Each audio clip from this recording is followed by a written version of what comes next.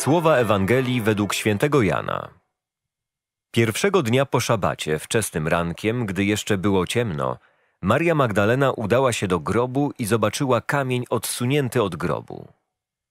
Pobiegła więc i przybyła do Szymona Piotra i do drugiego ucznia, którego Jezus miłował, i rzekła do nich: Zabrano pana z grobu i nie wiemy, gdzie go położono. Wyszedł więc Piotr i ów drugi uczeń i szli do grobu. Biegli oni obydwaj razem, lecz ów drugi uczeń wyprzedził Piotra i przybył pierwszy do grobu. A kiedy się nachylił, zobaczył leżące płótna, jednakże nie wszedł do środka.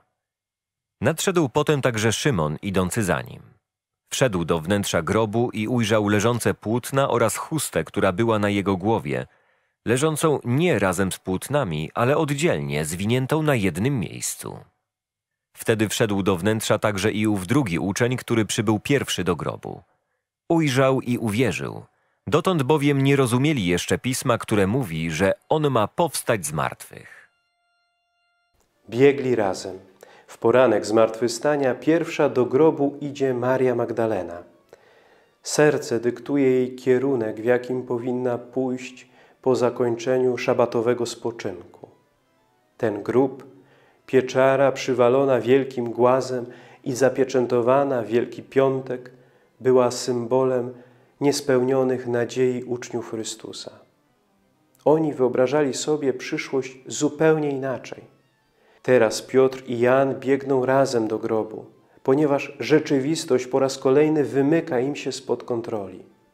Grób Jezusa, który miał być w oczach arcykapłanów żydowskich zakończeniem sprawy nauczyciela z Nazaretu, a dla uczniów znakiem ich wielkiego rozczarowania staje się miejscem, gdzie historia ludzkości zmienia całkowicie swój kierunek.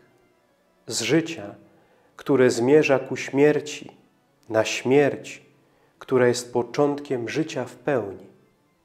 Początkowo Maria Magdalena sądzi, że ktoś przeniósł ciało Chrystusa w inne miejsce. Grobowy całun i chusta, która była na twarzy Jezusa, zaświadczają jednak coś przeciwnego.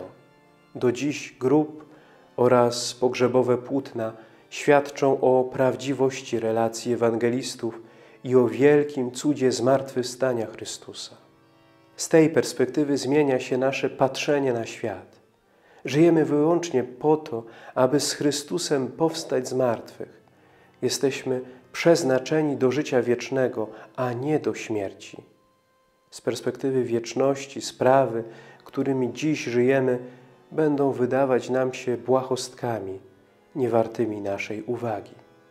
Apostołom Wielką Noc świat stanął na głowie, ale właśnie wtedy zaczęli rozumieć wszystko, o czym mówił im dotychczas Jezus.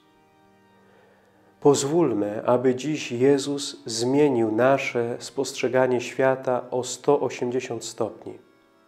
Może dotychczasowe sprawy niepotrzebnie urastały do rangi dogmatów.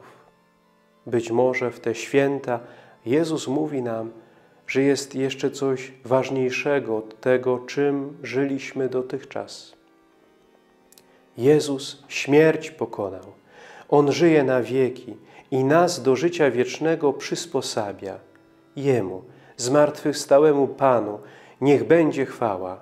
Alleluja.